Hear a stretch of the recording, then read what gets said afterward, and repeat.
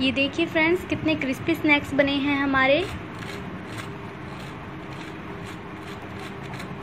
ये जितने बाहर से क्रिस्पी हैं, उतने ही अंदर से सॉफ्ट हैं। Hello friends Mamta kitchen recipes में आप सभी का स्वागत है। आज मैं आप सभी के लिए बनाने जा रही हूँ आलू के क्रिस्पी स्नैक्स आलू के ये क्रिस्पी स्नैक्स आप सुबह के नाश्ते में, बच्चों के टिफ़िन में, पार्टीज़ में और इवनिंग में चाय के साथ खा सकते हैं। इसे बनाना बहुत ही आसान है। लगभग पाँच से दस मिनट में आसानी से बनकर तैयार हो जाते हैं। टेस्ट में तो इसका कोई जवाब ही नहीं है। ये बहुत ही टेस्टी बनते हैं।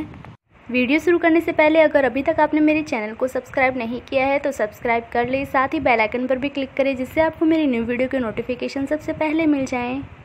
तो चलिए दोस्तों, बनाना शुरू करते हैं ये टेस्टी कुरकुरे स्नैक्स की रेसिपी सबसे पहले मैंने यहाँ एक बाउल में दो उबले हुए आलू लिए हैं, जिसे मैंने अच्छे से मैश कर लिया है। ध्यान रहे, आलू ज़्यादा उबले हुए नहीं होना चाहिए, वरना पेस्ट सही नहीं बनेगा। इसमें हम डाल देंगे एक चम्मच अदरक लहसुन का पेस्ट अगर आप अदरक या लहसुन कुछ नहीं खाते हैं तो आप उसे अवॉइड कर सकते हैं। साथ ही इसमें डाल देंगे एक चम्मच लाल मिर्च पाउडर। मिर्च को आप अपने स्वाद के अनुसार कम ज़्यादा कर सकते हैं। और आधा चम्मच काली मिर्च पाउडर डाल देंगे। काली मिर्च पाउडर अगर आपको पसंद नहीं है तो आप इसे भी अवॉइड कर सकते हैं। और आधा चम्मच चाट मसाला। चाट मसाले से भी बहुत ही अच्छा टेस्ट आता है स्नैक्स में। और एक तिहाई चम्मच नमक डाल देंगे। नमक आप अपने स्वाद के अनुसार कम ज़्यादा कर सकते हैं। साथ ही हम इसमें डाल देंगे एक बारीक कटी हुई हरी मिर्च। अब हम इसमें डाल देंगे हल्के से चिली फ्लेक्स अब हम इसमें डाल देंगे चार चम्मच कॉर्नफ्लोर आप कॉर्नफ्लोर की जगह आरा रोट का भी यूज़ कर सकते हैं। अब हम साफ़ हाथों से इन सभी चीज़ों को अच्छे से मिक्स कर लेंगे। हमें इसका सॉफ्ट डो तैयार करना है। अगर डो तैयार नहीं हो रहा है तो आप इसमें और कॉर्नफ्लोर डाल सकते हैं।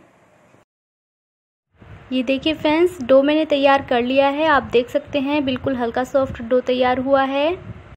अब हम इस डो को एक प्लेट में निकाल लेंगे। अब हम इस डो से स्नैक्स के लिए बॉल्स बनाएँगे। इसके लिए मैं हाथों पे हल्का सा ऑयल ले लूँगी, जिससे डो हमारे हाथों पर चिपकेगा नहीं। थोड़ा सा डो हम हाथ में लेंगे और इसे गोल गोल घुमाते हुए हम बॉल्स तैयार कर लेंगे। मैं यहाँ रेक्टेंगल शेप की बॉल्स तैयार कर रही हूँ। आप अपने पसंद के अनुसार शेप दे सकते हैं बॉल्स को। छोटी या बड़ी किसी भी शेप में आप बना सकते हैं। इसी तरह से हम सभी बोल्स बनाकर तैयार कर लेंगे। ये देखिए फ्रेंड्स सभी बोल बनाकर मैंने तैयार कर ली है।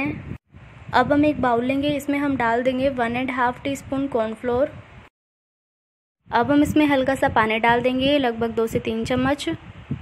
इसे हम मिक्स कर लेंगे और इसका एक पतला सा पेस्ट तैयार कर लेंगे। अब हम सभी बोल्स को इस पेस्ट में डिप करके ब्रेड क्रम्स की कोटिंग करेंगे। इसे हमें अच्छे से डिप करके ब्रेड क्रम्स की अच्छे से कोटिंग कर लेनी है। ये देखिए इस तरीके से। सभी बोल्स को हम इसी तरह से डिप करके ब्रेड क्रम्स की कोटिंग कर कर तैयार कर लेंगे। ये देखिए सभी बोल्स की मैंने अच्छे से कोटिंग कर ली है। ये देखिए पैन में मैंने तेल लिया है। तेल बिल्कुल अच्छे से गर्म हो गया है। गैस की फ्लेम को हम बिल्कुल लो कर देंगे। मैंने यहाँ रिफ़ाइंड ऑयल का यूज़ किया है। आप इसकी जगह अपनी पसंद का ऑयल यूज़ कर सकते हैं। अब हम इसमें एक एक करके सभी बॉल्स को डाल देंगे। मैं इसमें एक बारी में आधी बॉल्स डाल रही हूँ।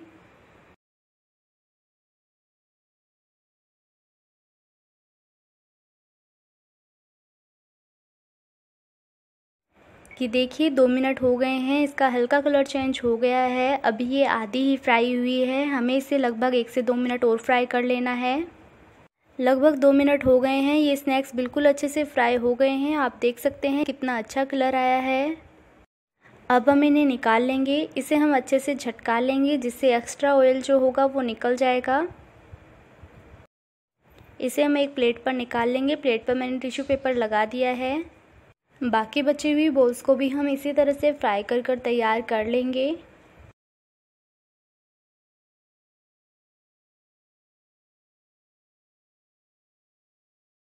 ये देखिए फ्रेंड्स सभी स्नैक्स को मैंने फ्राई कर कर तैयार कर लिया है। आपने देखा हुआ कितनी आसानी से ये बनकर तैयार हो गए हैं। आप इसे एक बार ज़रूर ट्राई करके देखिएगा।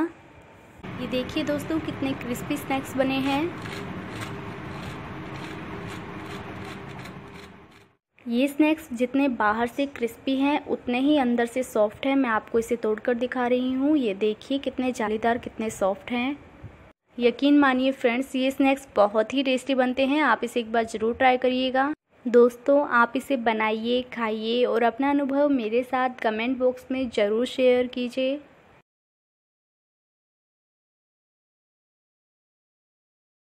आज अगर आपको मेरी रेसिपी अच्छी लगी हो तो वीडियो को लाइक और मेरे चैनल को सब्सक्राइब करना ना भूलें। तो चलिए दोस्तों, मिलते हैं नई वीडियो में नई रेसिपी के साथ। तब तक के लिए बाय